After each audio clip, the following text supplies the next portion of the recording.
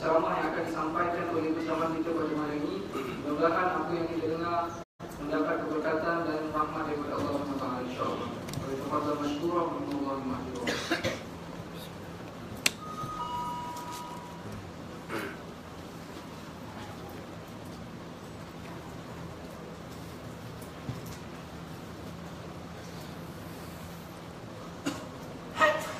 بسم الله الرحمن الرحيم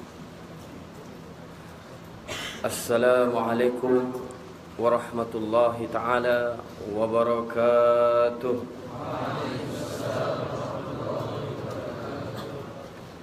Alhamdulillah rabbil alamin. Wassalatu wassalamu ala Rasulillah sallallahu alaihi wasallam wa ala alihi wa ashabihi wa barik wa sallim. رب اشرح لي صدري ويسر لي أمري واحلل عقدة من لساني يفقهوا قولي. رب يسر ولا تعسر رب تمم بالخير.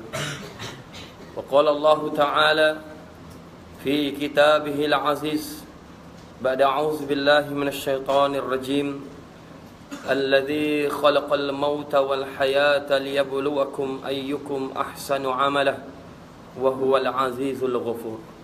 Sadaqallahul Azim. Wa la hawla wa la quwata illa billahil alil azim. Tidak ada daya upaya kekuatan melainkan daripada Allah. Kita tidak akan mampu solat maghrib berjamaah Bertahan di majlis ilmu Istiqamah di mahat tafis al-qairiyah mersing johor darut Takzim ini Melainkan dengan izin dan kekuatan daripada Allah. Demikianlah satu hakikat yang kita merayu merintih kepada Allah moga-moga hakikat ini sentiasa hidup dalam jiwa kehidupan kita. Hakikat yang berbunyi la haula wala quwata illa billahil aliyil azim. Subhanallah bila kita bercerita tentang atlet-atlet sama ada atlet peringkat kampung peringkat sekolah masuk ke peringkat daerah, masuk ke peringkat negeri. Atlet-atlet sukan itu pula bertanding di peringkat sukan Malaysia iaitu disebut dengan sukma. Lalu bila cemerlang dalam sukma naik pula ke peringkat sukan si antara negara-negara Asia. Asia. Bila cemerlang pula naik ke peringkat yang lebih atas yakni sukan Commonwealth, negara-negara Commonwealth. Cemerlang lagi dapat emas lagi. kawal, kawal, kawal, kawal. dapat pingat emat, emat pula dah. Andai kata semuanya tadi kilauan emas, ibu-ibu, ayah-ayah, mungkin caranya berbeda. Ha, Tuan Haji, dek kerana ada para pelajar, kena ada selit-selit sikitlah jenaka-jenaka yang bersifat terbiak. Baik. Bila seseorang atlet itu cemerlang dalam sukan Commonwealth, pecah rekod pula. Pertandingan apa? Congkak. Naik ke peringkat sukan Olimpik. Itulah sukan yang paling tinggi peringkat dunia. Tuan-tuan, puan-puan, para penuntut pengembara ilmu yang dimuliakan lagi dikasihi Allah, tahukah kita di sebalik kemenangan kejayaan seseorang atlet dalam peringkat sukan tadi dia telah banyak berkorban. Mendengar mentaati segala arahan jurulati-jurulati mengikut sistem yang telah diatur oleh pihak pengurusan. Dan paling besar para atlet itu berkorban. Contohnya sukan si baru-baru ni di temu bual ramai atlet ditanya kau buat persiapan sampai menang emas ini berapa lama? Aku satu tahun tak balik kampung. Adik-adik faham tak? Baiklah, tak boleh cakap sahabat pening dia orang. Adik-adik, atlet yang menang tadi ditemu rama oleh wartawan. Ditanya, hari ini kamu cemerlang, menang pingat emas. Boleh tak kongsi cerita di sebalik kemenangan ini? Maka dia pun bercerita, setahun aku berlatih, awal subuh bangun, pagi berlatih, tengah hari berlatih, petang berlatih, malam berlatih, kadang-kadang aku rasa mau mati. Berjauhan dengan keluarga, tinggalkan seketika keseronokan di luar, setahun berlatih. Seolah-olah sehari 24 jam banyak masa untuk berlatih. Maka apa beda dan bezanya kita di Mahat Tafiz Al-Khairiyah Mersing ini? Sama ada di karangan para pelajar, para muallim wal muallimat, juga yang berbahagia tuan guru kita, Al-Fadil Ustaz Muhammad Arif sebagai pentadbir utama matam ini dan juga mudir kita pengurusi pertubuhan Al-Khairiyah ha? masyarakat setempat apa perbezaan kita dengan para atlet tadi persamaan ada contohnya apa adik-adik persamaan kena bekerja ke bekerja keras nak jadi hafiz Al-Quran. Nak cemerlang dalam bidang akademik. Nak menjadi agamawan yang yang hebat. Alim ulama. Kena bekerja keras. Nak jadi hafiz. Kena rajin menghafal. Nak jadi ulama. Kena faham setiap disiplin ilmu agama. Dan untuk bersaing di dunia di akhir zaman. Masuk dalam dunia profesional kita perlu cemerlang dalam akademik bekerja keras cuma acaranya lain lah. Kalau olahraga tadi 100 meter 200 meter 400 meter 4 kali 4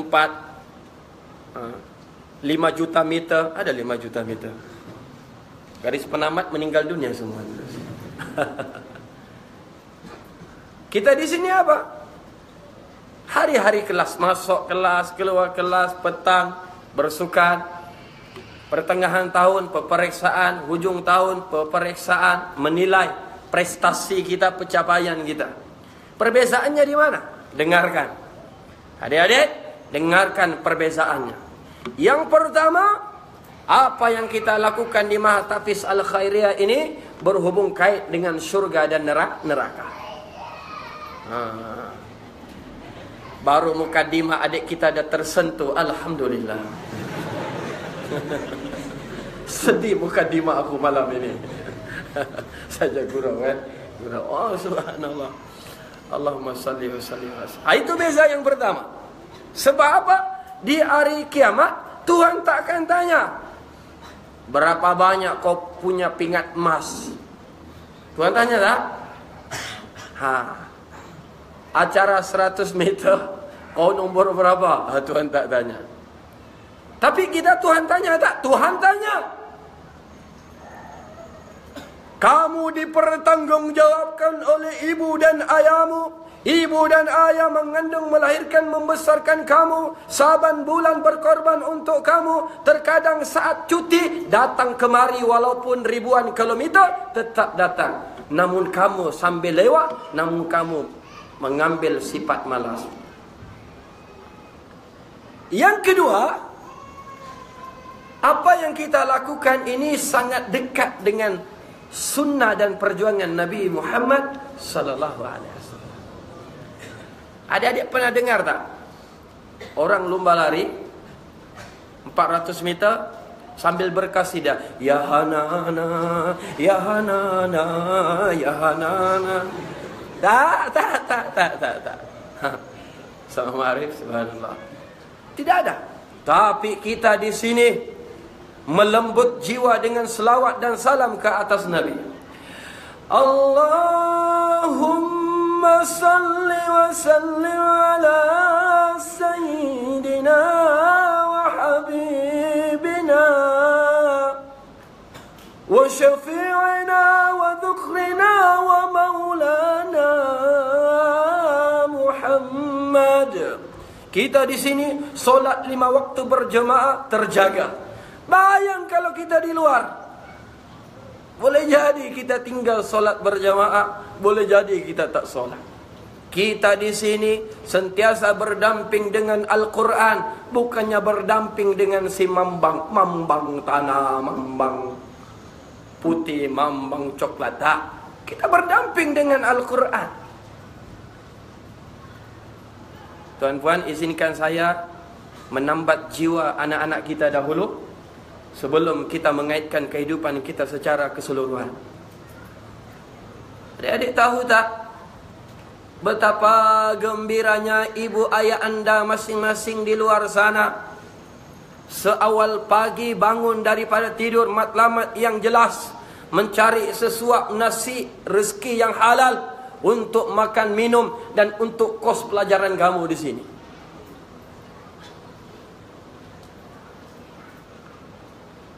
Maka beza kita dengan orang di luar sana. Bukan setakat atlet tadi ialah kita menuju redha Allah Subhanahu wa taala. Ha. Di sini banyak menyebut nama Allah. Tengok saja tuan imam kita tadi subhanallah suara yang merdu alhamdulillah bacaan subhanallah diajaknya kita berwirid usai solat mensucikan Allah, memuji Allah, membesarkan Allah, mengesakan Allah. Subhanallah walhamdulillah wala ilaha illallah wallahu akbar. Subhanallah walhamdulillah ولا إله إلا الله والله أكبر Siapa pernah terfikir Mahatafiz Al-Khairiyah yang bermula dengan 16 orang pelajar dengan dua orang guru menyewa di sebuah rumah sewa di Sungai Muka Dua kemudian berpindah ke Sawah Datuk sebelum di Tanjung Genting ini. Hari ini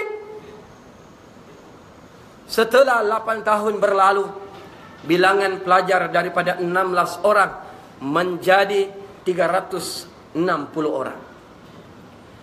Daripada dua orang guru menjadi 28 orang guru. Saya nak beritahu apa? Termasuklah baru-baru ini sama Mak Arif saya sempat buat kajian tadi.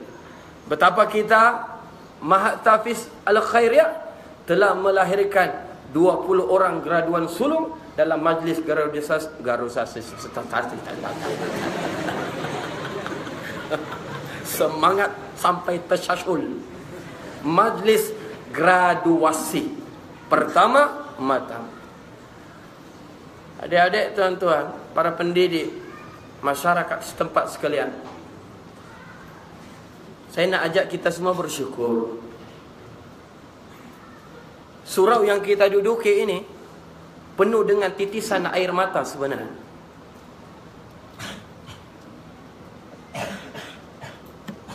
pengharapan kepada Allah, perjuangan, pengorbanan. Sebab itu para pelajar sekalian, bila melangkah seawal masuk pintu gerbang, lakukan yang paling terbaik. Sebab apa? Di sinilah syurga atau neraka kamu. Begitu juga dengan penduduk setempat. Bersyukur kita kepada Allah. Keberadaan matam ini sebenarnya menyenari memberi cahaya kepada penduduk setempat. Apa tidaknya syaitan nak masuk kampung kita, pelajar matam baca Al-Quran, lari lintang pukang syaitan. Aku buat lawak, kamu tak gelak, menyesal aku buat lawak. Maksudnya apa? Ayo kita ber bersyukur. Ucapkan Alhamdulillah. Syukur kita kepada Allah. Selawat ke atas Nabi Muhammad ya Rasul Rasulullah. Terima kasih kepada pengurusi majlis Adinda yang saya muliakan Yang kita hormati lagi kita muliakan Tuan Guru kita yang berbahagia Al-Fadil Ustaz Muhammad Arif Abdul Qadir ketua pentadbir matam yang kita muliakan sama ada ada di sini ataupun tidak ada yang berbahagia Al-Fadil Ustaz Idris Haji Syahri pengurusi pertebuan Al-Khairiyah Mersing seluruh ahli jawatan kuasa pertebuan para pendidik di kalangan guru-guru muallim wal muallimat kalangan para murabbi yang terus istiqamah berbakti melahirkan para alim ulama pendakwah dan juga hufazul Quran yang saya muliakan sekalian. Pimpinan masyarakat. Ibu ayah, tuan-tuan haji, abang kakak muslimin muslimat yang dirahmati oleh Allah Subhanahu wa taala sekalian. Insya-Allah tajuk perbincangan kita pada malam ini berbunyi cabaran kita hari hari ini. Kita merujuk kepada umat Islam. Cabaran kita hari ini merujuk cabaran para pelajar matam pada hari ini. Cabaran kepada para pendidik matam pada hari ini. Cabaran kepada kita umat Nabi sallallahu alaihi wasallam pada hari ini. Allahumma salli wa sallim ala sayyidina Muhammad. Adik-adik, tuan-tuan, puan-puan sekalian. Ayo kita melihat perjalanan sejarah khususnya perjalanan sejarah kegemilangan Islam. Dalam disiplin ilmu sejarah yang saya sempat belajar ketika di Pondok Bandar Hilir Sik Kedah, tuan guru saya membahagikan perjalanan sejarah kronologi tarikhul Islam itu kepada lima fasa. Fasa yang pertama zaman jahiliyah. Yang kedua zaman kebangkitan Nabi Muhammad sallallahu alaihi wasallam. Dan zaman yang ketiga adalah zaman Khulafaur Rashidin Al-Mahdiyyin radhiyallahu anhum ajma'in. Khalifah-khalifah Ar-Rashidin. Dan zaman yang keempat adalah zaman khilafah Islamiyah yang melibatkan tiga kerajaan besar, kerajaan Bani Umayyah, kerajaan Bani Abbasiyah dan kerajaan khilafah Utsman Utsmaniyah yang jatuh pada 1924 Masihi. Dan zaman yang kelima adalah zaman kini, zaman pada hari ini yang usianya 93 tahun sudah berlalu. 93 tahun berlalu. Secara ringkas, apa yang berlaku pada zaman jahiliyah adik-adik sekalian, para penuntut pengembara ilmu, mudah-mudahan anda semua menjadi hafiz Al-Quran, para pendakwa dan alim ulama, yang akan bertebaran di atas muka bumi Johor dan Takzim di atas muka bumi Allah untuk mendaulat agama Islam sekalian. Baik. Apa yang berlaku pada zaman jahiliyah? Ketika itu penduduk khususnya penduduk Arab tidak bertamadun. Sehingga dua empire, dua kerajaan terbesar yakni Rum dan Parsi tidak memandang umat Arab ketika itu. Kenapa? Apa tidaknya sikit-sikit menari, menyanyi, ha? Meminum arak. Ya bududal asnam, mereka itu menyembah patung berhala. Kehidupan yang tidak ada pedoman dan panduan. Sehingga apa?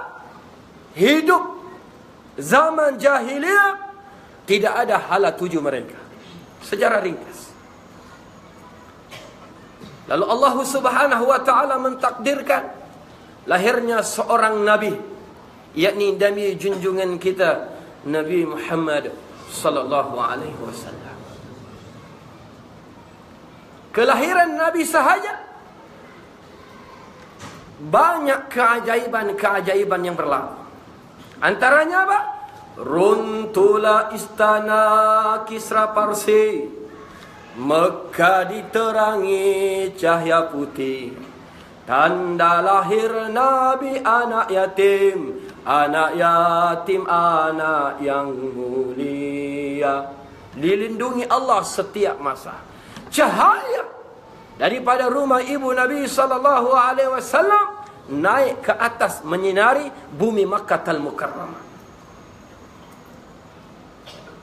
Lalu Nabi membesar, membesar dalam keadaan yatim piatu di saat anak-anak yang lain menyebut wahai ibu wahai ayah aku mau iPhone 7. Maksudnya apa? Beza anak-anak ketika itu mereka menyebut mengadu kepada ibu dan ayah mereka ya ummi ya abi. Bagaimana pengaduan Nabi wasallam? Nabi mengadu sentiasa ya Rabb, ya Rabb, ya Rabb. Sehinggalah Nabi dibangkitkan menjadi rasul dan na dan nabi. Adik-adik, tuan-tuan, apakah mudah perjuangan Nabi ketika itu? Tidak. Lihat sahaja sejarah Nabi berdakwah di Taif. Kan Nabi itu disiksa, Nabi itu dibelasa, Nabi itu dicaci, dimaki.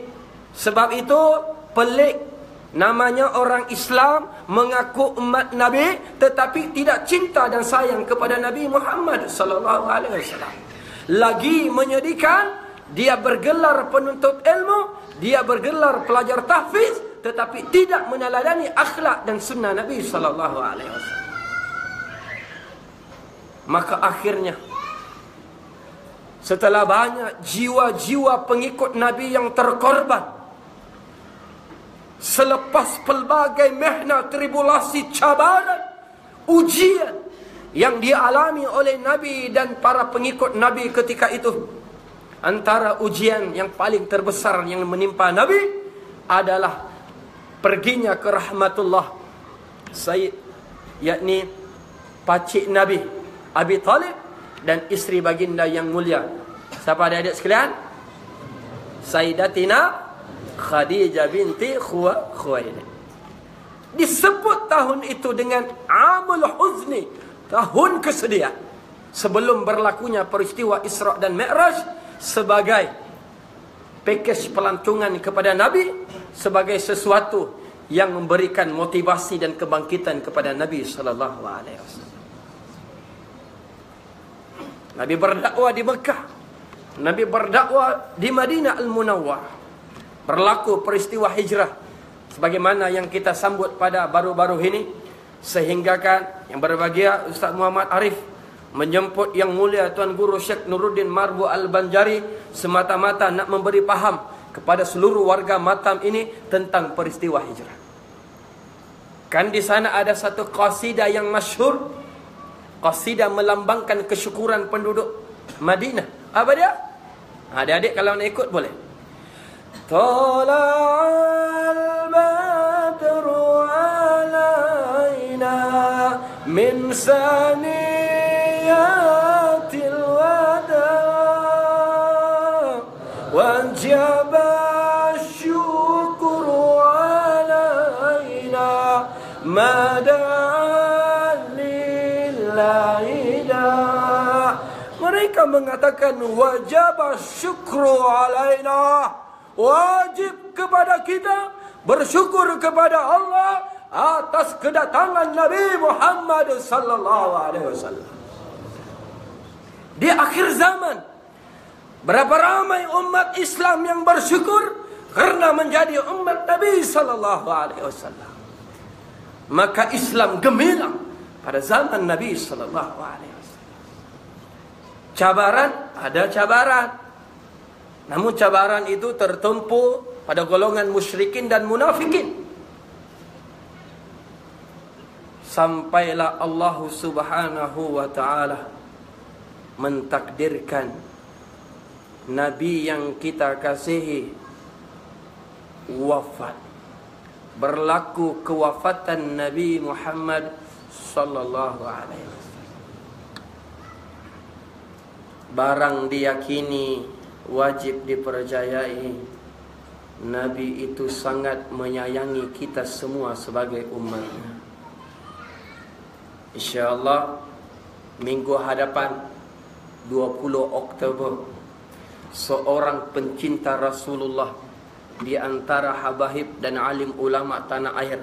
Saya yakin beliau akan mengupas panjang tentang Rasulullah yang berbahagia Al-Fadhil Ustaz Muhadir Haji Haji Jol. Ada satu buku Al-Fadhil Ustaz Muhadir Haji Jol yang bertajuk Ingin ku balas cintamu ya Rasulullah. Dalam kitab itu merungkai, mengungkap, menceritakan betapa sayangnya Nabi kepada kita umat baginda. Sampaikan Nabi pernah bersabda dalam sebuah riwayat, Nabi sangat menyayangi umat baginda yang hidup selepas kewafatan Nabi sallallahu alaihi wasallam. Namun kita bagaimana? Sampailah zaman yang ketiga, yakni zaman Bani Umayyah, Bani Abbasiyah, uh, sebelum tu Khulafaur Rasyidin. Yang pertama adik-adik, apa dia Sayyidina Abu Bakar As-Siddiq radhiyallahu anhu. Yang kedua Sayyidina Umar bin Al-Khattab radhiyallahu anhu. Yang ketiga Sayyidina Utsman bin Affan radhiyallahu anhu. Dan yang keempat Sayyidina Ali bin Abi Talib radhiyallahu anhu. Ah, ini Al-Khulafa'ur Rasyidin Al-Mahdiyin radhiyallahu anhum ajma'in. Yang keempat-empat mereka ini sepenuh jiwa mencintai Allah, sepenuh jiwa mencintai Rasulullah, memimpin, mentadbir, berjuang dan berkorban berdasarkan ajaran Nabi sallallahu alaihi wasallam. Cabaran kepada umat ketika itu ada cabaran terbesar selepas kewafatan Nabi saat Sayyidina Abu Bakar As-Siddiq mengambil peranan sebagai pemimpin yang bergelar khalifah, pengganti tiga cabaran terbesar. Yang pertama, tuan-puan, adik-adik sekalian, ramai yang murtad. Ramai yang tak bayar zakat dan ada beberapa orang yang mengaku nak mengaku nabi. Cabaran terhadap zaman pemerintahan Sayyidina Abu Bakar As-Siddiq.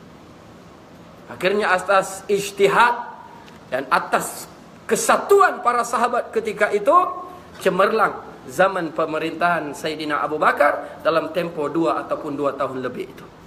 Disambung oleh Sayyidina Umar ibn Khattab radhiyallahu anhu. Dalam tempo sepuluh tahun, Sayyidina Umar mampu menyebarkan Islam keluar daripada tanah Arab, empayar Islam sampai ke Afrika, sampai ke Mesir dan sampai di luar tanah Arab. Tengok, cabaran ada? Ya cabaran semakin besar. Bila Islam semakin tersebar, bila umat Islam berpegang dengan Al-Quran dan As-Sunnah, cabaran itu semakin besar. Lagi-lagi di kalangan Yahudi dan Nasrani yang Allah telah nukilkan kebenaran dan hakikatnya dalam ayat yang berbunyi, saya baca adik-adik sambung. Boleh? Boleh bakalau kau. Sebut boleh bakalau kau. Ha, hari ini rasmilah kamu jadi orang sabar semuanya. A'udzu billahi minasyaitonir rajim. Walan tarda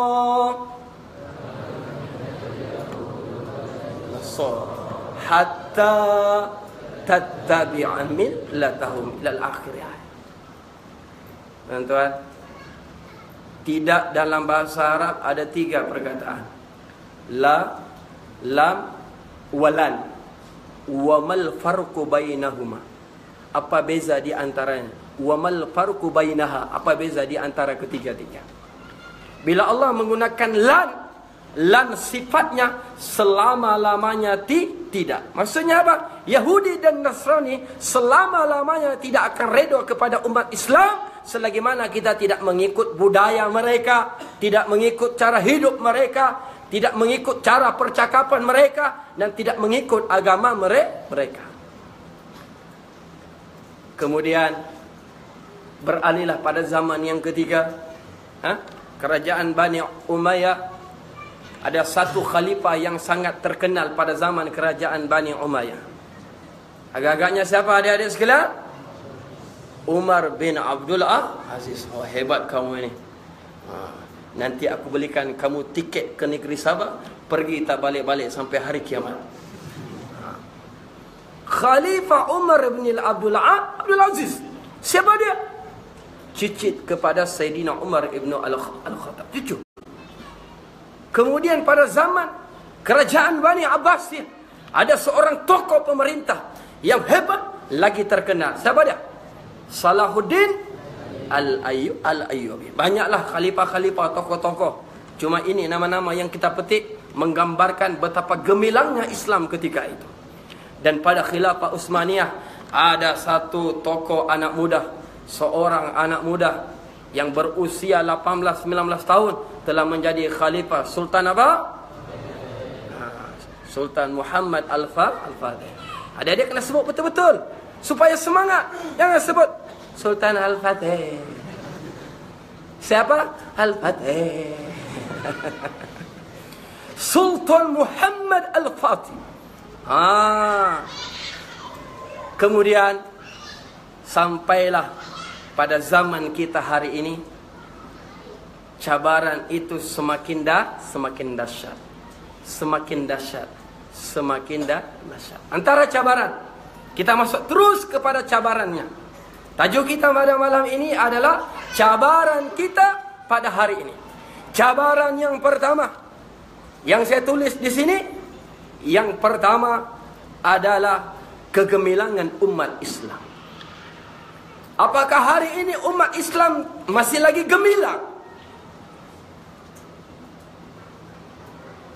Tidak. Karena apa? Ramai yang sudah mengenepikan Al-Quran dan As-Sunnah. Sehingga apa? Mengambil sambil lewat soal akidah, syariat dan juga soal akh, akhlak Islami. Yang kedua, cabaran perpecahan umat Islam. Sebab itu, adik-adik, tuan-tuan, puan-puan, para murabbi pendidik sekalian, panjatkan kesyukuran kepada Allah, ucapkan penghargaan setinggi penghargaan dan ucapan berbanyak-banyak terima kasih kepada pihak pengurusan yang mendatangkan para alim ulama antara yang saya boleh sebut pada malam ini seperti yang saya sebut tadi Tuan Guru Syekh Nuruddin Marbu Al-Banjari rahimallahu taala. Ha? Kiai Idrus Ramli merupakan ulama besar dalam Nahdlatul Ulama Indonesia yang 20 September 2017 datang ke sini. Seterusnya saya ingat saban bulan Profesor Dr. Habib Abdul Qadir Al-Habushi Profesor Madya Dr. Arif Saleh bin Rosman dan juga Ustaz yang sekian lama sampai hari ini bersama anda di sini yang berbahagia Ustaz Haji Hanafiara Hanafiara. Apa dia?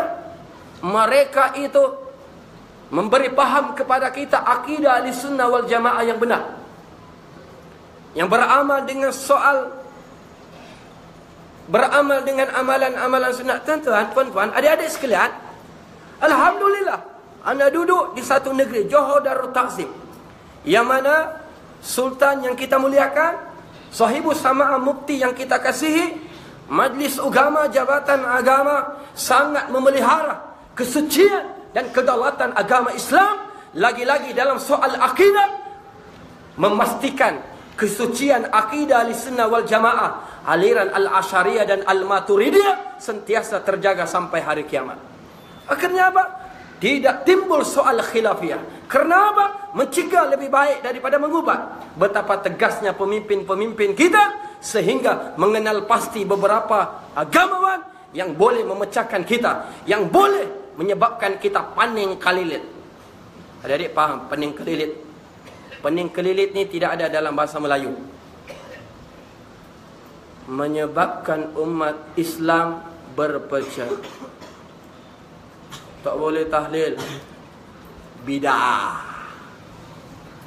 Yasin tak boleh Maulidur Rasul Tuan-tuan Puan-puan Bila tiba timbul Maulidur Rasul Nah Awal Disember 30 November Malam 1 Disember 12 Rabiul Awal Akan timbul lagi soal Maulidur Rasul Sambut Maulidur Rasul Macam sambut taipusan dia bilang sampai hati kau. Bila datang ma'al hijrah, doa awal-awal tahun, akhir tahun, dia bilang tak boleh sesat. Macam-macam.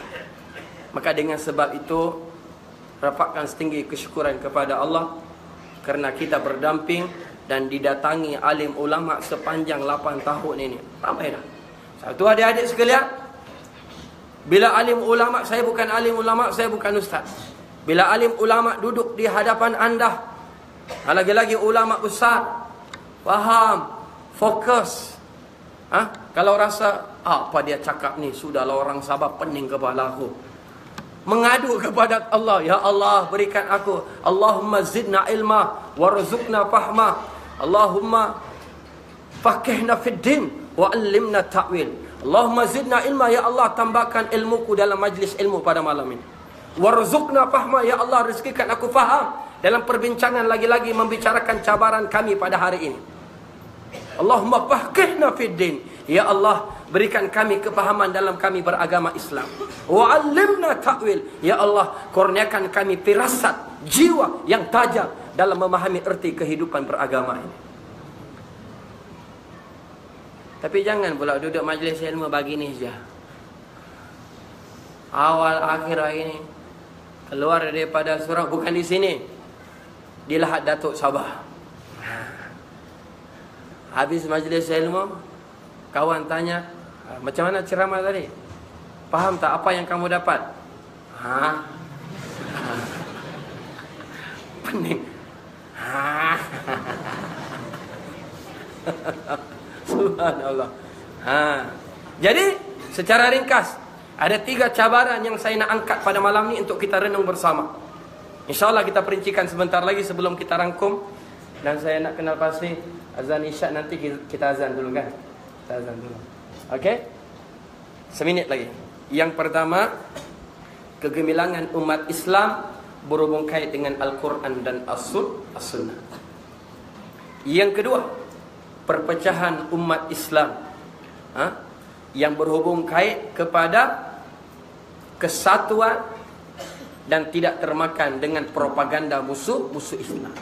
Dan yang terakhir pada malam ini cabarannya adalah ukhuwah Islamiyah yang berpaksi kepada nilai kasih dan sah kasih sayang. Apa dia ada sekalian? Kasih kasih sayang bukan kasih terima kasih. Kasih kasih sayang. Jadi saya ingat uh, berbahagia Ustaz Muhammad Arif, para pelajar, tuan-tuan sekalian, uh, kita mengikut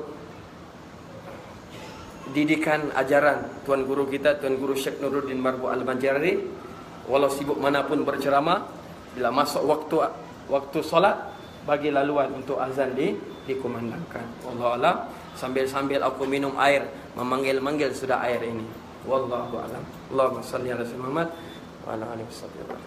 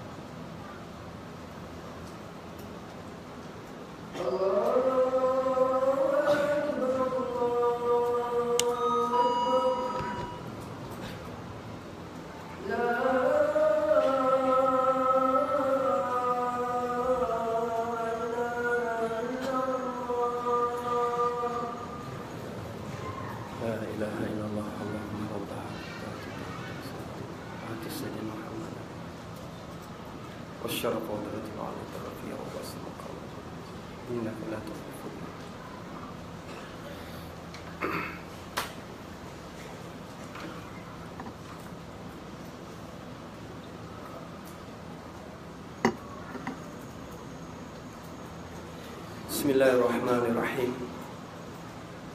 Alhamdulillahirrabbilalamin Dengan nama Allah yang maha pengasih lagi maha penyayang Segala puji dan puja bagi Allah Tuhan sekalian alam. Wa nusalli wa nusallim ala sayyidina wa habibina Wa syafi'ina wa zukrina wa maulana Muhammad wa ala alihi wa ashabi wa barik wa sallim. Selawat dan salam ke atas Nabi junjungan kita Nabi Muhammad sallallahu alaihi wasallam. Allahumma salli wa sallim alaihi Moga-moga keberadaan kita di Matam pada malam ini membolehkan kita mendapat syafaat daripada baginda, keizinan daripada baginda dan dengan izin daripada Allah meminum telaga kausar baginda dan dapat berpimpin tangan dengan baginda masuk ke dalam syurga dan mudah-mudahan di bumi lembah ilmu yang bersejarah matam ini paling kurang sekali Allah takdirkan kita bermimpi akan Nabi Muhammad sallallahu alaihi wasallam. Seperkara yang saya ingin cetuskan untuk kita beri untuk kita fikir bersama sebelum kita merungkai tentang tiga cabaran dan apa hubung kait dengan kita serta solusi pada setiap cabaran itu tadi. Apa dia? Setiap daripada kita yang ada pada malam ini memikul amanah yang berat. Lagi-lagi anak-anak, adik-adik sekalian.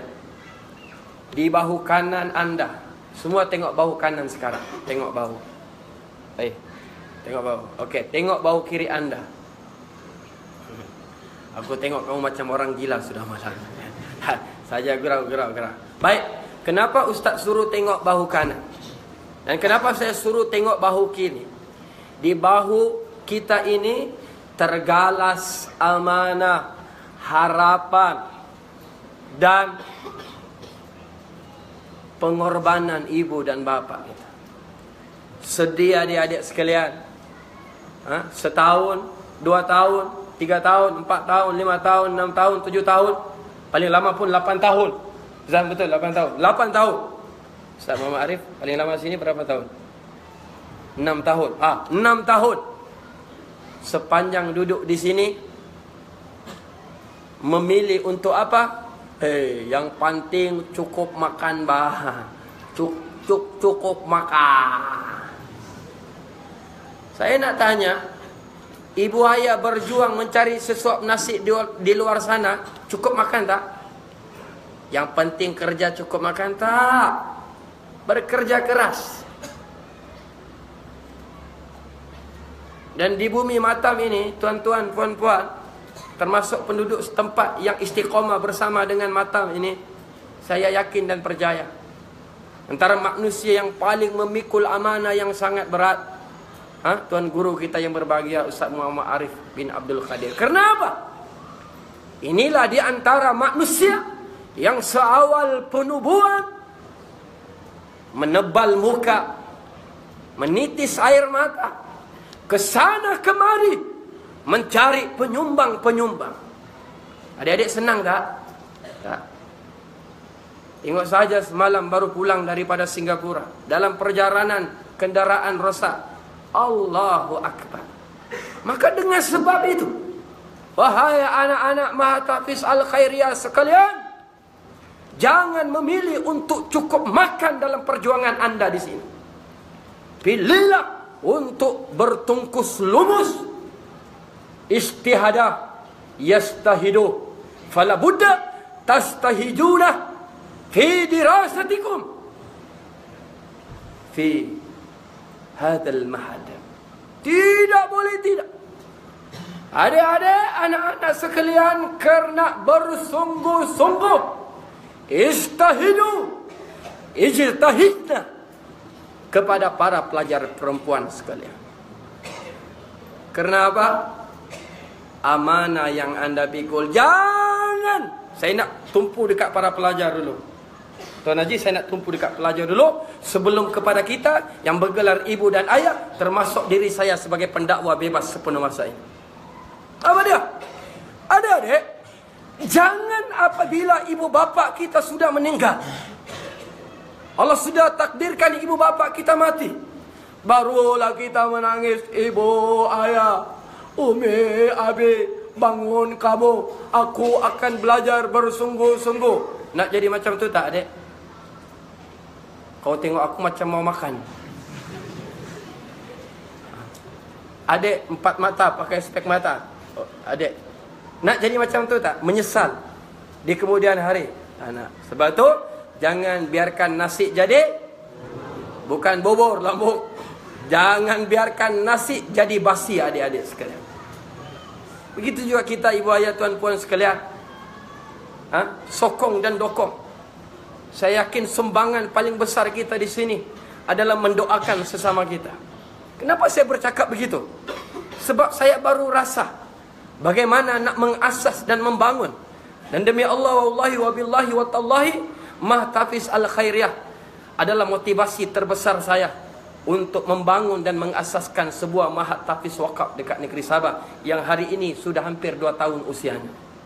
Sebab itu sangat menyedihkan. Bila kita memiliki para pelajar yang tidak bersungguh-sungguh dalam pelajaran, ha? tidak menjaga soal disiplin, lagi-lagi dua perkara. Saya ingat dulu saya mengaji dekat Pondok Bandar Hilir ha, sama Ma'arif. Tok Guru tekan dua perkara ni. Apa dia? Yang pertama, solat lima waktu berjamaah. Yang kedua, belajar. Saya pernah tengok banyak kali satu satu hari itu kawan saya tak masuk kelas. Ha, pengajian kitab kuning talaki. Ha, Tuan Haji Abu Bakar, ngaji pondok kitab kuning. Kawan saya tak masuk kelas. Apa yang berlaku depan mata saya, Allah yahram tok guru saya tumbuk pipi kawan saya. Ha, tak, dekat sini pernah tak berlaku macam tu? Tak pernah. Tapi nak beritahu apa? Fokus dua perkara ini. Yakni solat lima waktu berjemaah dan fokus pelajaran. Tapi jangan pula lepas ni. Apa sal tak pergi riadah? Apa sal tak ikut aktiviti? Piu Azial dah pesan. Fokus dua perkara. Jangan jadi macam tu. Ha? Tuan-puan sekalian. Ha? Sebagai penutup untuk cetusan rasa ini. Ayo kita mendoakan sesama kita. Mudah-mudahan matam terus gemilang di negeri Johor dan Takzim. Dan seterusnya dalam konteks negara Malaysia. Bagi melahirkan ha? produk-produk. Ini umpama kilang. Ini umpama kilang. Kilang yang melahirkan produk. Ha? Kilang yang mencetak kader-kader dakwah, hufazul Quran dan alim ulama, alim ulama. Baik. Allahumma salli wa sallim ala sayyidina Muhammad wa ala alihi washabihi wa barik wasallim. Ayo. Syabaran kita yang pertama. Allahumma salli ala Muhammad. Mendaulat Al-Quran mempertahan sunnah Nabi sallallahu alaihi wasallam. قال النبي صلى الله عليه وسلم تركت فيكم أمرين لن تدلوا ما تمسكتم بهما كتاب الله وسنة رسول الله صلى الله عليه وسلم Nabi meninggalkan kita dua pusaka, dua warisan yang agung kita tidak akan sesat selama-lamanya selagi mana kita berpegang dengan kedua-dua perkara itu. Maka para pelajar sekalian, apakah dua perkara itu? Yang pertama al yang kedua adalah as. Di mata anda boleh dapat sebanyak-banyaknya Al-Quran dan As-Sun, As-Sunnah. Cuma, cuma, cuma nak atau tak nak sahab sahaja. Di luar sana, tuan-tuan dengar, tuan-puan dengar, para pelajar dengar sekalian. Di luar sana, ada sudah manusia yang menggelar dirinya orang Islam, memperleke sunnah Nabi sallallahu alaihi wasallam tidak mempercayai hadis Nabi sallallahu alaihi wasallam. Ada adik-adik akan membesar. Adik-adik akan terjun ke masyarakat. Adik-adik akan berdakwah. Maka faham inilah hakikat di luar sana. Yang kedua ada golongan manusia yang mengambil Al-Quran pada keadaan tertentu, meninggalkan Al-Quran pada keadaan tertentu, mengambil saat bersesuaian dengan nafsunya, meninggalkan saat tidak bertepatan dengan nafsu mereka. Lagi menyedihkan, mereka sanggup mengatakan, tutup semua mahatafis di negara Malaysia ini. Celaka punya orang begini. Ha. Adik-adik, Islam larang kita benci sosok manusia kerana itu adalah makhluk ah, makhluk Allah. Cuma Islam membolehkan kita tidak suka dan tidak reda dengan perangai manusia seperti ini. Jadi kita yang bergelar pelajar mahatafis, kita yang bergelar penyokong dan pendukung Al-Quran dan As-Sunnah, apakah kita sanggup melihat institusi tahfiz ini ditutup? Siapa lagi nak pertahankan kalau bukan kita adik-adik sekalian? Tapi sebelum nak pertahan Sebelum mengatakan aku akan mempertahankan Al-Quran As-Sunnah Dengan diriku Dengan nyawaku Dengan darahku Dengan seluruh apa yang ada pada hidupku Tapi apa? Nak hafal Al-Quran pun ha, Tasmek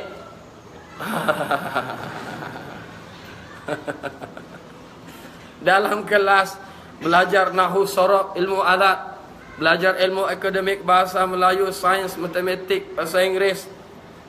Ustaz, ustazah mengajar bukan di sini, dekat Mahat tapi ustaz dekat negeri Sabah. Belajar, dia buat apa? Dia tinggal khusyuk.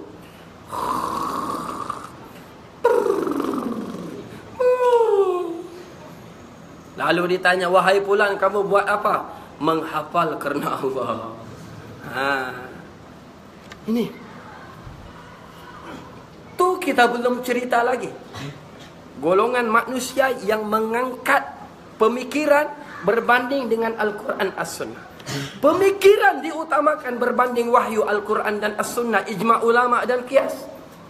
Sehingga apa? Berani mengatakan apa? Agama dengan kehidupan tidak boleh dicampur aduk. Sehingga sanggup mengatakan adik-adik dengar ini. Anda akan bertemu dengan manusia seperti ini. Walaupun dia profesor, walaupun dia doktor, walaupun dia cendekiawan ataupun ilmuwan. Berani pula dia bilang apa? Semua agama sama. Memperleke kandungan Al-Quran, mempertikai hadis Nabi, mempertikai alim ulama, karangan-karangan seperti kitab Ihya Ulumuddin, Sahih Bukhari, Sahih Muslim perlu dinilai semula. Allahu Akbar. Ini cabaran kita. Ini cabaran. Pemikiran. Ideologi. Sekularisme. Pluralisme. Liberalisme. Hedonisme. Hiburan-hiburan. Adik-adik di sini Alhamdulillah. Hiburannya apa? Qasih. Qasidah. Ha. Di luar sana. Macam-macam nyanyi. Nyanyian. Ha, Akademi Fantasia ada. Tunjuk ajarku sifu. Ha. Macam-macam. Daripada bintang kecilnya, bintang remajanya, bintang dewasa belianya, sampailah kilauan emas, otai penuh dengan do dosa. Ha. Otai masih berbisalah. Ha, di luar sana. Sebab apa hedonisme?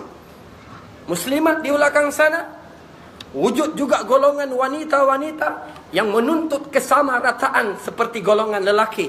Ideologi ini dipanggil dengan feminisme. Ada juga golongan nasionalisme. Mengangkat perjuangan bangsa berbanding dengan perjuangan agama. Sehingga apa? Walaupun bangsanya itu salah, bertentangan dengan Al-Quran dan As-Sunnah, atas semangat nasionalisme, tetap pembelaan berlaku. Ini. Dan yang terakhir adalah sosialisme. Kehidupan yang bebas. Sehingga apa? Ha? Sehingga hukum hakam pun ditolak. Itu kita belum cerita lagi tentang ajaran sesat. Ajaran sesat adik-adik sekalian. Macam-macam. Dan kita belum cerita lagi tentang uh, aliran aliran Wahabi. Terus terang di negeri Sabah alhamdulillah satu perkembangan yang baik baru-baru ini jawatan kuasa mufti telah mengeluarkan fatwa. Aliran Wahabi ini sangat bertentangan dengan akidah Ahlussunnah wal Jamaah. Ada hampir 20 ciri-ciri mereka dalam fatwa yang dikeluarkan dan ditularkan di laman sosial ataupun dalam bentuk dokumentasi. Antara yang pertama adalah menolak sifat 20. Adik-adik tahu tak sifat 20? Adik-adik ingat tak lagunya? Ayo kita nyanyi. Moga-moga dengan kita hafal ini Allah kurniakan kita awaluddin ma'rifatullah seawal agama mengenal ah Allah. Tapi jangan pula kamu menjerit mati aku malam ini. Okay? Allahu jud Mukhalafatu مخالفة للحوادث قيامه بنفسه وحدانية. قدرة إرادة علم هيئة Sama' basar Kalamu qadiran murid dan aliman hayyan sami'an basiran mutakalliman. Ada lagi lah beberapa cirinya. Antaranya apa? Mempertikaikan amalan-amalan sunat yang termasuk dalam hal-hal khilafiyah yang akhirnya memeningkan umat Islam. Dan tuan-tuan boleh kaji cuma saya nak beritahu ini cabaran. Cabaran yang pertama kegemilangan is Islam ha, termasuklah Syiah termasuklah arilan-arilan ha, yang bertentangan dengan dengan hukum hakam syariat dan juga akidah Islamiyah yang yang sahih. Maka dengan sebab itu para pelajar Mahatafiz Al-Khairiyah Mersi yang dirahmati Allah yang dimuliakan oleh Allah, moga-moga anda semua menjadi pejuang-pejuang agama Allah. Dan juga yang berbahagia pengurusan matam, para pendidik matam, pendokong penyokong penduduk setempat yang istiqomah terus menyokong perjuangan matam Mersing ini. Allahumma salli ala Muhammad. Saya nak tutup dengan saya nak sebut Allahumma salli wa sallim ala sayyidina Muhammad wa ala alihi washabihi wa barik sallim. Kita kena mempertahan kesucian Al-Quran dan As-Sunnah. Tuan-tuan, Nabi Muhammad sallallahu alaihi wasallam, Allahumma salli Muhammad, disebut dalam kitab Uswatu Hasanah. Sebuah kitab sirah Nawawiyah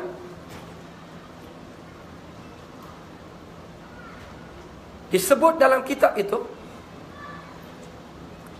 Nabi terkenal dengan sifat lemah lembut baginda Kezuhudan baginda Ketawaduan baginda Tapi dalam hal kedaulatan Islam Kesucian Al-Quran dan As-Sunnah Perjuangan akidah yang sahih Mempertahan hukum hakam syariat Islam Dan menyebarkan akhlak Islamiyah Nabi sangat te te tegas. Adik-adik sebut macam tak tegas, tegas. Nabi bersifat te tegas. Nabi tegas. Dan Nabi sangat lantang dalam mempertahankan kesucian dan intipati ajaran Islam yang terkandung dalam Al-Quran dan As-Sunnah. Maka dengan sebab itu, Kekuatan mempertahankan Al-Quran dan As-Sunnah Sumbernya bukan daripada diri kita Sumbernya adalah daripada redha Allah subhanahu wa ta'ala. Banyak sebut nama Nama Allah. Banyak istighfar kepada Allah. Astaghfirullahaladzim الذي لا إله إلا والحي القيوم وأتوب إليك اللهم صل وسلم على سيدنا Cabaran yang kedua Perpecahan umat Islam Allah subhanahu wa ta'ala menyebut di dalam Al-Quran A'udzubillahi minasyaitonirrajim Wa'tasimu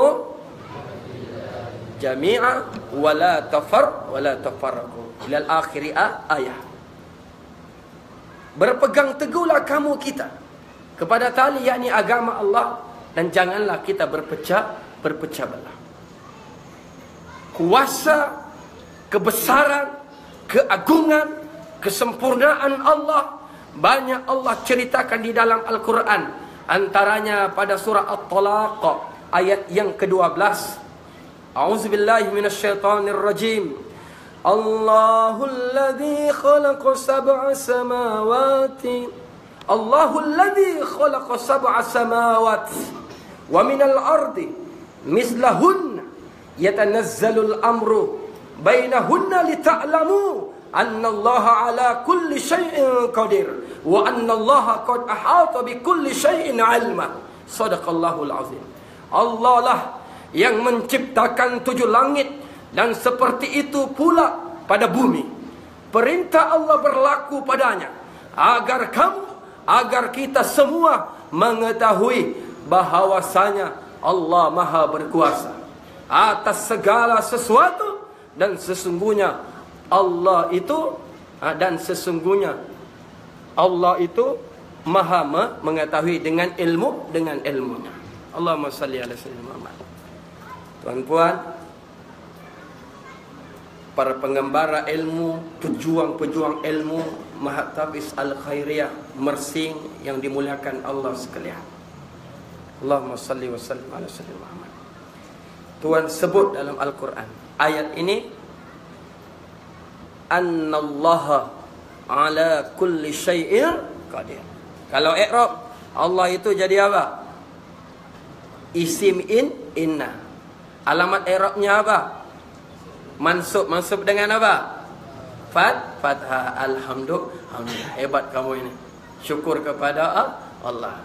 Ha. Anak-anak muda di luar sana. Apa Arabnya? Mansubkah? Marfukkah? Majrur? Ha? Bersyukur tak? Nak main-mainkah? Nak bersungguh-sungguh? Bersungguh-sungguh. Seronok adik-adik sekalian. Anda hafal Al-Quran, anda faham makna Al-Quran, anda boleh i'rab dan anda boleh hubung kait dengan ilmu nahu dan sorok. Lagi indah ibu ayah sekalian, bila anak-anak kita ini dapat memahami makna Al-Quran bukan selapis semata-mata, lapis yang kedua, lapis yang ketiga, lapis yang keempat, lapis-lapis yang terusnya melalui ilmu balaghah, al-bayan, ma'ani dan dan apa? Badik. Betul ke Ustaz? Ha.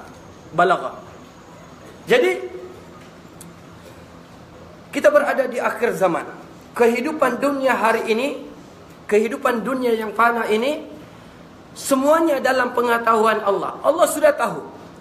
Dan Allah Maha mengetahui kita di akhir zaman termasuk di Johor Darul Takzim.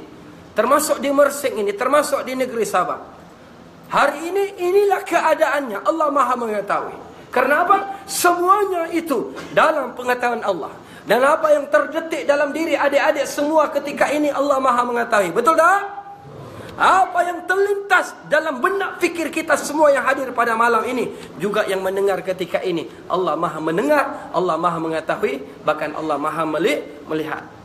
Tidak seinci pun terlepas daripada pengetahuan Allah subhanahu wa ta'ala. Maka dalam persaingan dunia pada hari ini. Adik-adik, kita bersaing. Siapa yang tidak bersedia berhadapan dengan cabaran, pasti dia akan tertinggal. Bila dia tertinggal, maksudnya apa? Untuk berjaya, pasti akan su suka. Lalu, bagaimana kita nak nak bersaing? Ustaz, Ustaz, Kau menjerit-jerit aku tidak paham. persoalan. Mungkin adik-adik tanya tuan-tuan pun. Tuan-tuan puan-puan tanya. Bagaimana kita nak bersaing Ustaz? Ustaz sebut tadi dunia persaingan. Siapa yang tidak bersedia, dia akan ketinggalan. Bagaimana untuk kita tidak ketinggalan? Dan bagaimana untuk kita relevan? Masuk relevan, ha, kita boleh bersaing. Kompeten. Kita boleh bersaing di dunia akhir zaman. Termasuklah dalam dunia ilmu ini. Dalam lembah ilmu. Jawabnya adik-adik yang dirahmati Allah. Ialah. Dekatkan diri kepada Allah. Siapa yang paling berkuasa adik-adik sekalian? Milik siapa semua di antara langit dan bumi? Siapa yang mentakdirkan kita ke sini? Siapa yang menyusun masa depan kita? Siapa yang berkuasa jadikan kita hafiz 30 juzuk dan hafizah 30 juzuk? Dan siapa yang takdirkan kita cemerlang di mata ini? Maka syarat yang pertama untuk kita mampu bersaing dan relevan supaya tidak ketinggalan dunia dan akhirat, yang pertama ialah dekatkan diri kepada kepada Allah. Ha. Jangan jadi anak-anak yang sikit-sikit mengadu di Facebook. Aduh, sakit perutku. Kemudian tengok berapa orang like aku punya, aku punya status ni. oh, mengadulah kepada kepada Allah. Yang kedua, persyarat untuk kita boleh bersaing. Ha, kita di ujung dah ni. Nabi sudah lepas ni kesimpulan yang ketiga. Persyarat yang kedua ialah Allahumma salli ala sayyidina Muhammad. Ha? hadirkan Rasulullah dalam jiwa dan kehidupan kehidupan kita. Yang ketiga apa adik-adik sekalian? Caranya apa? Berbakti dan mentaati ibu ibu bapa kita. Dan yang keempat, terlibat dalam gerak kerja dakwah, dakwatu ilallah, mengajak manusia kepada kepada Allah. Doakan para pejuang-pejuang kita. Doakan tuan guru tuan guru kita. Doakan para guru-guru kita untuk terus istiqomah Mendad, men, mendadak pula dah mendadak mendidik kita semua untuk menjadi manusia yang berguna. Dan yang kelima saya sempat tulis di sini ialah Allahumma salli alaihi pastikan di mana juga kita berada apa juga yang kita lakukan pastikan hanya dengan satu niat saja yakni maradha maradha maradha apa maksudnya dalam bahasa Melayu? Keredaan Allah. Jangan ada yang bila ditanya, kamu enam tahun di mata, apa tujuan kamu? Hmm. Mak ayah aku paksa, aku belajarlah di sini. Jangan. Demi reda Allah subhanahu wa ta'ala. Maka cabaran yang terakhir, yang kita nak kongsi pada malam ni, Allahumma salli wa sallim ala sayyidina Muhammad, adalah ukhuwah Islam, Islam. Perpaduan sesama kita. Hebat guru-guru kita, alim ulama kita, sahibus sama mufti kita, pemimpin-pemimpin kita. Ha? Walaupun dicaci, dimaki, dihina, ha? tok guru, tok guru kita dicaci, dimaki, dihina, apakah mereka melawan adik-adik sekalian? Ha? Tak. Tengok sahabat-sahabat adik-adik sekalian, anak-anak kita tuan-tuan, puan-puan, baru-baru ini kan Allah takdirkan Mahatafiz Darul Ittifaqiyah 21 orang pelajar yang syahid dan dua orang guru yang syahid Allahu Akbar. Adik-adik tahu tak? Sayu tak? Sedih tak? Adik-adik ada doakan tak kawan-kawan tu? Ha, tengok. Ukhuwah Islamiyah. Tidak ada tidak akan ada ukhuwah Islamiyah kalau tidak ada kasih kasih sayang. Kasih sayang sesama kamu. Jangan bergaduh. Jangan caci maki kawan. Tengok kawan apa salah hidung kau besar. Ha. Saya cerita ni tempat saya lah sama Mak Arif. Ha. Biasalah pelajar ni kan. Duduk sama orang. Ha. Kau, oh pasal mata kau besar. Ah, tak elok, tak elok. Adik-adik kena berkasih sayang. Yang abang, termasuk yang pelajar muslimat, yang kakak, sayang adik-adik anda. Yang adik-adik, hormat abang dan kakak anda. Ha, di sinilah anda belajar ukhuwah Islam, Islamnya. Muliakan guru-guru. Ingat para pelajar sekalian termasuk diri kita. Nilai keredaan ilmu daripada guru menentukan masa depan kita. Antara penentu masa depan kita. Adik-adik, sekali guru tidak redo kepada kita, percayalah masa depan kita akan gelap.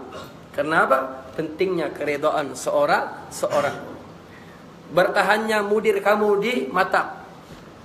Bertahannya berjuang. Yang berbahagia guru kita Al-Fadhil Ustaz Muhammad Arif. Bertahannya guru-guru kamu di mata. Bertahannya pendokong-pendokong, penyokong-penyokong. Penduduk setempat yang istiqamah dengan matam sampailah pada malam ini. Karena apa? Karena kasih sayang yang yang ada. Maka jangan kita hilangkan kasih sayang ini karena kasih sayang insya-Allah menjadi sebab kita berhimpun di dalam syurga Allah Subhanahu wa taala. Maka saya kira untuk tajuk cabaran kita hari ini cukup sekadar itu. Ha? Cuma saya nak tambah sedikit lagi tadi kita berada di dunia globalisasi. Internet pelbagai benda. Internet pelbagai benda. Adik-adik nak tengok negara uh, Afrika. Adik-adik nak tengok dekat mana? Go Google. Type apa? Afrika. Kemudian tekan dekat image apa yang keluar? Ha, muka-muka orang Afrika lah yang begini semua. Ha. nak tahu negeri Sabah? Adik-adik tekan saya negeri Sabah kadang-kadang tak sampai 5 saat. Ha? Ngurusi majlis tak sampai lima saat. Tuan Haji, kita dah dapat maklumat tentang negeri negeri Sabah. Ha, Tuan Haji Aki, subhanallah, Allah SWT. Sahabat saya dunia akhirat. Dari tadi aku baru perasan kau, baru perasan pula. Baru perasan Tuan Haji. Ha, Alhamdulillah. Apa kita sebut tadi? Ya, mau tahu makanan Sabah. Type makanan Sabah. Tekan image, keluar apa? Udang, katam, apalagi ikan jos, ikan paus, macam-macam. Jadi kita berada di dunia akhir zaman. Teknologi, ideologi, hiburan, dunia hujung jari, persepsi. Allah nak cerita panjang tuan-tuan, persepsi, fitnah, propaganda. Maka dengan sebab itu, yang pertama kita sebut apa? Dekatkan diri kepada Allah. Okey, adik-adik ulang. Yang pertama apa? Ha, semangat, semangat, semangat. Kita nak anchor, kita nak pasak di minda dan jiwa kita. Yang pertama apa dia?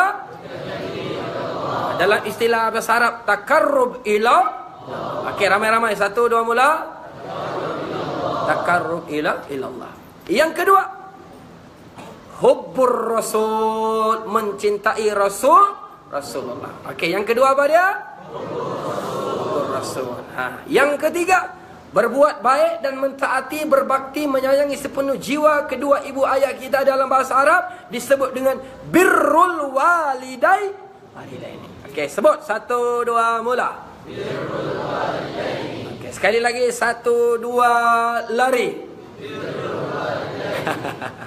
Birrul walidaini. birrul walidaini. Takarrub ila Allah. Hubbur Rasul. Birrul walidaini. Yang keempat kesimpulan kita atas tajuk cabaran kita hari ini adalah ad-da'watu ila Allah. Dakwah kerana ah, kerana Allah. Okey, sebut ad-da'watu ila Allah. Sambung satu dua mula. Tuan-puan, tuan-tuan haji, puan-puan aja. Kalau mungkin di hadapan saya tidak ada pelajar tadi, mungkin saya tak suruh ulang-ulang. Tapi dia kerana para pelajar ini perlukan taukid Ustaz Muhammad Arif. At-taukid ha?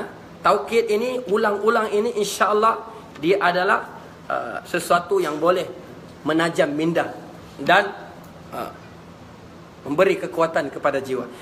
Wal akhir dan yang terakhir Allahumma salli ala sayyidina Muhammad marudha maradatillah. Yang ni sebut tiga kali. Bismillah. Satu dua mula. Maradatillah. Subhanallah. Allahumma salli ala Muhammad. Syukur kepada Allah. Ha, Saya mengucapkan berbanyak-banyak terima kasih Kepada yang berbahagia Ketua Pentadbir Mak Tafiz Al-Khairi yang Mersing Tuan Guru kita yang berbahagia Al-Fadil Ustaz Muhammad Arif bin Abdul Qadir. Juga terima kasih kepada pengurusi pertemuan Al-Khairiyah Mersing Bagi Al-Fadil Ustaz Idris bin Haji Syahri.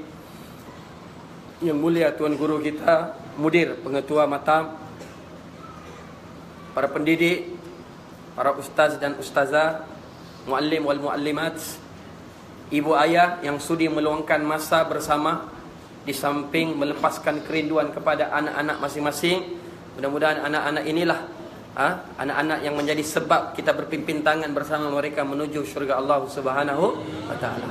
Terima kasih juga kepada anak-anak matam yang sudi istiqamah ha? bertalaki dan mendengar taujihat perkongsian ilmu pengalaman daripada tuan guru tuan guru alim ulama pesan ustaz satu juga adik-adik para pelajar sekalian bila guru-guru kita mengajar fokuslah kalau rasa tak faham bertanyalah dan mengadulah kepada Allah Subhanahu wa taala. Saya mohon maaf atas kekurangan.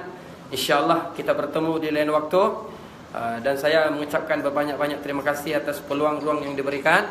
Doakan saya, doakan ustaz adik-adik sekalian uh, untuk istiqah, istiqamah dalam perjuangan dakwah Islam ini dan doakan saya bersama kawan-kawan saya di negeri Sabah terus sehat walafiat dalam merealisasikan melaksanakan segala perancangan yang kita ingin cap capai. Barakallahu fikum wasiru ala barakatillah. Aku qawli hadha wa astaghfirullah lazim li wa lakum wa billahi taufiq wal hidayah. Assalamualaikum warahmatullahi taala wabarakatuh. Sekali ayat kita besarkan Allah dengan kita menyebut nama Allah. Takbir. Allah. Wallahu